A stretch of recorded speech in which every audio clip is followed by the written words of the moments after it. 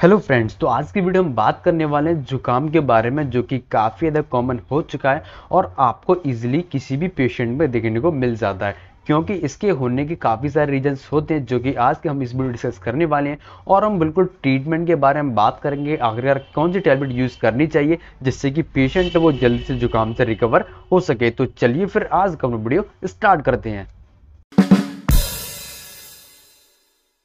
तो जैसा कि मैंने आपको बताया था कि जुकाम होने के काफ़ी सारे रीजंस होते हैं, लेकिन अगर किसी भी पेशेंट को जुकाम हो जाता है तो उसमें क्या क्या सिम्टम्स दिखने को मिल सकते हैं, जिससे कि डॉक्टर वो इजीली आइडेंटिफाई कर लेते हैं। तो यहाँ पे मैंने कुछ इंपॉर्टेंट सिम्टम लिख रखे हैं, जो कि आपको यहाँ पर जानना ज़रूरी है। तो हमारा जो सबसे पहला सिम्टम है, वो हमारा रनी नोइस जो पेशेंट होगा, उसकी नाक बहेगी और जो नेक्स्ट है, वो हमारा सौर थ्रोट तो यहाँ पे देखिए, आपका गला खराब हो जाएगा। फिर जो नेक्स्ट है, वो हमारा कफिंग आपको कफ होगा, आपको खांसी भी हो सकती है जुकाम के साथ में। और आपकी नाक बहेगी क्योंकि वो एक तरह का एलर्जी रिएक्शन शो कर देता है। फिर जो नेक्स्ट है, वो हमारा कंजेशन आपका जो कफ है, वो जम सकता है और उसमें कंजेशन की मतलब उसमें ऐसी दिक्कत देखने को मिल सकती है। नेक्स्ट हमारा हेड आपके सर में दर्द भी हो सकता है और आपको चक्कर भी आ सकते हैं। नेक्स्ट है, वो हमारा स्नीजिंग आपको छीके भी आ सकती हैं, जो कि एक तरह के एलर्जिक रिएक्शन ही होता है जुकाम का। फिर जो नेक्स्ट है, वो हमारा फीवर पेशेंट को बुखार भी आ सकता है। तो ये तो कुछ कॉमन सिम्टम्स जो कि आपको पेशेंट में नॉर्मली देखने को मिल जाते हैं। तो इसके थ्रू डॉक्टर इजिली आइडेंटिफाई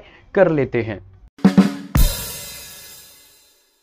तो चलिए, अब हम बात कर लेते हैं इसके कुछ कॉजेज़ के बारे में। तो यहाँ पे कुछ इंपॉर्टेंट कॉजेज़ है, वो है हमारा कि जो आपका जुकाम होता है, वो रहीनो वायरस के थ्रू होता है। ये एक वायरस होता है जो कि जुकाम को कॉज करता है कॉमन कोल्ड को कॉज करता है। तो आपको ये जानना काफ़ी ज़्यादा ज़रूरी तो ये जो वायरस का नाम, वो रहीनो वायरस फिर जो नेक्स्ट है, वो हमारा ड्रॉपलेट इन्फेक्शन और कोई भी व्यक्ति उसको जुकाम हो रखा है और जब आप उससे बात करते हैं, तब उसका जो ड्रॉपलेट है, वो आपकी बॉडी पे आ जाता है। तो उसके थ्रू भी आपको जुकाम है, वो हो सकता है। तो उसी का ड्रॉप ड्रॉपलेट इन्फेक्शन बोलते हैं। फिर जो नेक्स्ट है, वो हमारा कॉन्टामिनेशन अगर आप गंदा खाना खाते हैं या आप गंदा पानी पीते हैं तो उसकी वजह से भी आपको जुकाम हो सकता है। और जो सबसे बड़ा फैक्टर है, वो है कि मौसम का चेंज होना। तो जो सीजनेबल चेंजेस होते रहते हैं तो उसकी वजह से भी जो जुकाम हो सकते हैं, क्योंकि काफ़ी सारे लोग होते हैं, ये खासकर बच्चों में देखा गया कि उनकी इम्यूनिटी इतनी स्ट्रांग नहीं होती है कि वो जुकाम से लड़ सके। तो इस वजह से बच्चों में जो जुकाम है काफ़ी ज़्यादा देखा जाता है।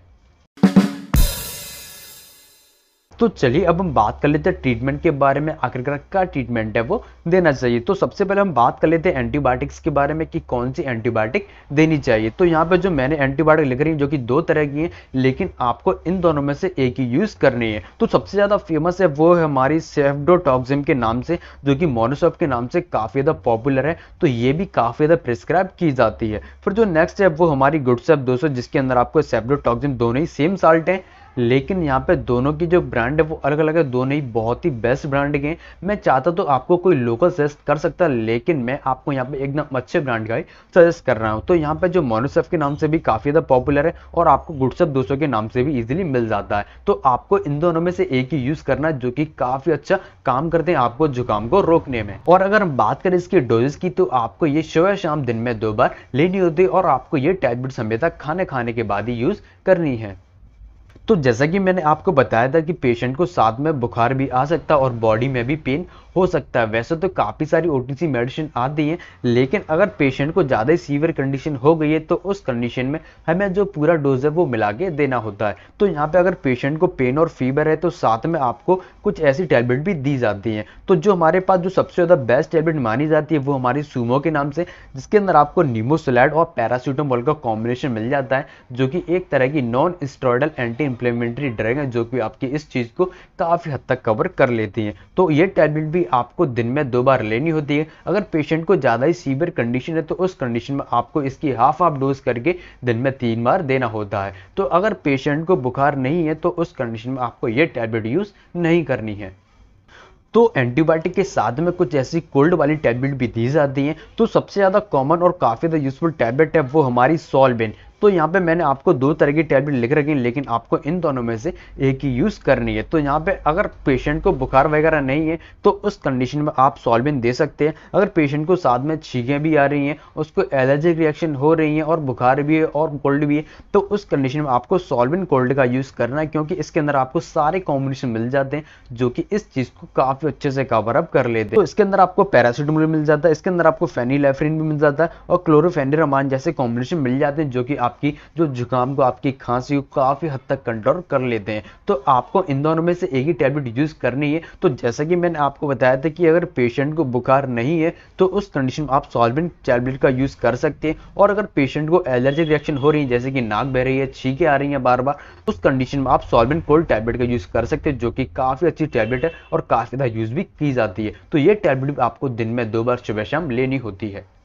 तो जब आप इन टैबलेट्स का यूज़ करेंगे तो पेशेंट में हो सकता है कि उसका स्टमक है, वो इरिटेट करे, उसमें एसिडिटी जैसी दिक्कत हो सकती है, क्योंकि इसमें साथ में कुछ ऐसी एनएसएआईडी ड्रग हैं, जो कि इस चीज़ को कॉज कर सकती हैं। तो यहाँ पे देखिए, अगर पेशेंट को इरिटेशन हो रही है तो उस कंडीशन में आपको साथ में पेंटाप्रोजोल टैबलेट देनी होती है। अगर आपके पास पेंटाप्रोजोल नहीं है तो उस कंडीशन और रेनिटी टैबलेट का यूज़ कर सकते हैं, जो कि एसीलॉक के नाम से काफ़ी ज़्यादा पॉपुलर है। तो आप इनका यूज़ कर सकते हैं, जो कि आप इसको जो पेंटाप्रोजोल टैबलेट है, वो आपको खाली पेट देनी होती है, जो कि आप पेशेंट को इजीली प्रिस्क्राइब कर सकते हैं, और ये टैबलेट आपको सुबह शाम देनी होती है। तो ये तो कुछ ट्रीटमेंट जो कि कॉमन कोल्ड में काफ़ी यूज़ किया जाता है, और इससे पेशेंट वो बहुत ही जल्दी रिकवर हो जाता है। और मैंने आपको जितनी भी टैबलेट बताए वो आपको हमेशा डॉक्टर की एडवाइस पर ही यूज़ करनी होगी। तो उम्मीद करता हूँ आपको ये वीडियो इन्फॉर्मेशन काफ़ी ज़्यादा पसंद आएगी तो प्लीज़ वीडियो को लाइक कर दीजिए और ऐसे न्यू अपडेट चैनल को सब्सक्राइब ज़रूर कर लीजिए और आप मुझे कमेंट करके बता सकते हैं कि मैं अगली वीडियो किस टॉपिक पर लाऊं ताकि आपको और नई जानकारी मिल सके।